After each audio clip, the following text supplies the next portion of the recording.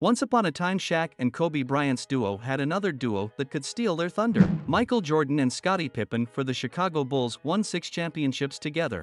While MJ has all the respect from Shaq, Scottie Pippen isn't so lucky. Do you know that back in 2015 Shaq and Pippen got involved in a war of words on social media? The feud began when Shaq said the all-time Los Angeles Lakers team would beat the all-time Chicago Bulls squad by 50 points.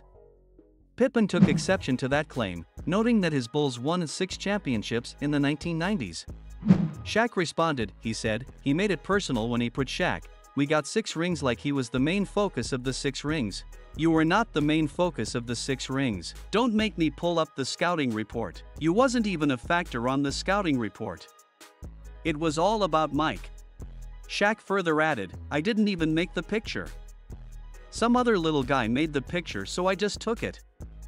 It was the five best Lakers and the five best Bulls, and I said we'll beat them by 50. That's how I feel, and I'm sticking to it. I didn't say, hey, it's Scottie Pippen, we will beat you guys by 50. Hey, Rodman, we will beat you guys by. I just said, I'll beat you by 50. Now, he made it personal when he said, Shaq, I don't believe in hypotheticals.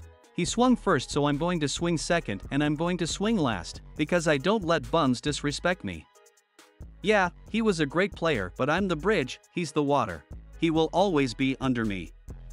Every now and then he will rise to the occasion to get to the same level as the bridge, but when reality kicks in, I'm bridge, he is water, he is under me.